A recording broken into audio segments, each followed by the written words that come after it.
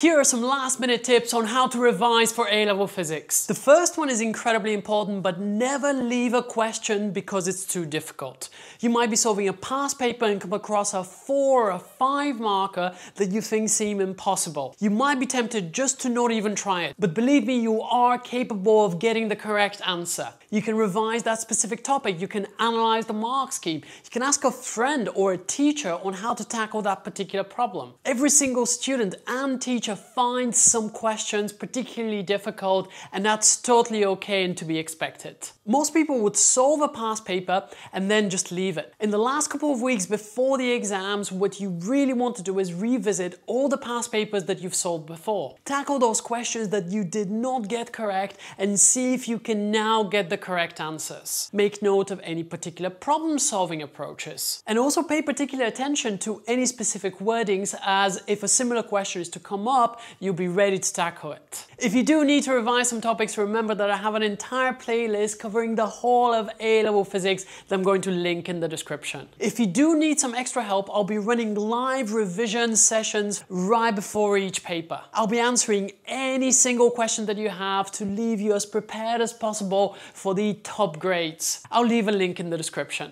Make sure that you schedule all your revision days. Even if your schedule does change a little bit, at least you will know that you'll be waking up and you will have a plan on what topic to revise, which subject or which paper to tackle. Anytime that you're doing past papers or revision, please do me a favor, take your phone and just put it into airplane mode. This single little tactic may save you a ton of time for revision and may drastically increase your grade. The next one is really important about confidence, but have a list of tasks after which you will essentially be ready for each paper.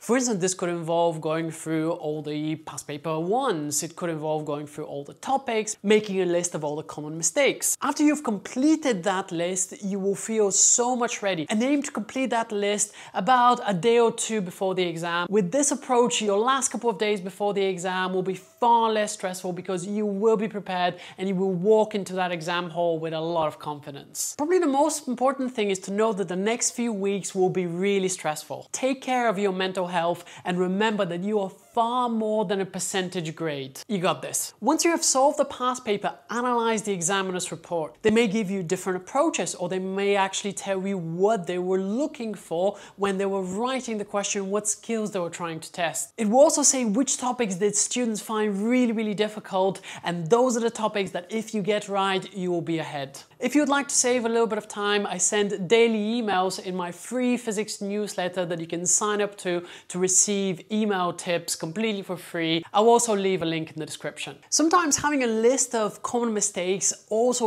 really works for me as well. One thing that you can do is go through the specification and list some of the really common misconceptions or common pitfalls. A lot of the mistakes in A-level physics are actually very easily preventable and that includes probably the most common mistake in A-level physics which is to forget to carry through a square in something like Newton's law of gravitation or Coulomb's law. Work on your exam technique continuously. Just like an athlete trying to perfect their technique every time they practice, you can take a very, very similar approach to try and improve every aspect of the way you take exams. For instance, you could work on the timing, you can work on your multiple choice skills, having a really good layout in the way you're structuring show questions. This is such a crucial part of being successful in exams, and I've actually made a whole separate video for it that you absolutely must watch. Have a look right over here.